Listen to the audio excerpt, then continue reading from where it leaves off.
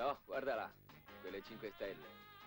È la costellazione dell'Orione, detta anche del cacciatore. E più in là, quelle tre lì messe a triangolo, quello del cane. Ma come hanno fatto a vederci un cane, questo poi me lo devi spiegare.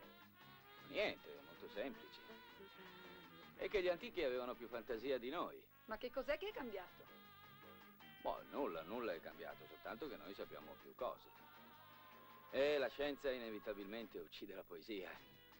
Ecco, facciamo un caso. Un antico che vedeva un fulmine pensava subito a Dio.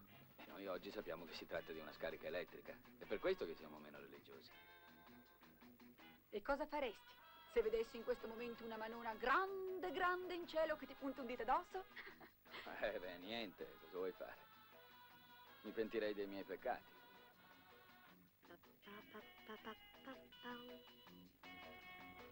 Stefano, cercami un po' la mia costellazione. Io sono un Sagittario.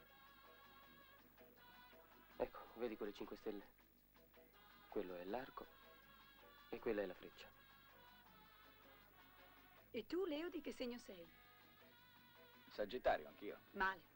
Mm? Due Sagittari non vanno mai d'accordo. Te, Stefano, di che segno sei? La Vergine. Gemelli. Sagittario gemelli, felicità assicurata.